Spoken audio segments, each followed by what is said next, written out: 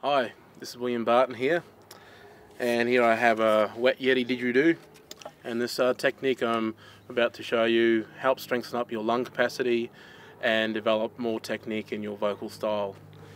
Basically put the end of the didgeridoo, the edge of the didgeridoo in a bucket of water, you don't have to have a pond like this custom made pond right here and the, the trick is to keep the drone going, the vibrations of the lips going and that helps build up the strength around the mouth area for much more broader and versatile uh, technique.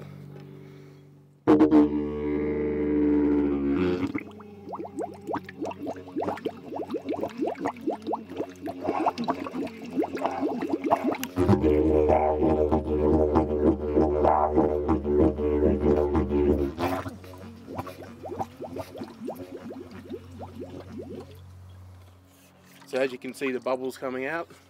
Um, when you advance to um, a suitable level you can actually put the, uh, the entire didgeridoo in a, in, a, in a bin, in a big wheelie bin and that's for the ultimate though. But don't try that at home until you get the advanced level. Cheers bro.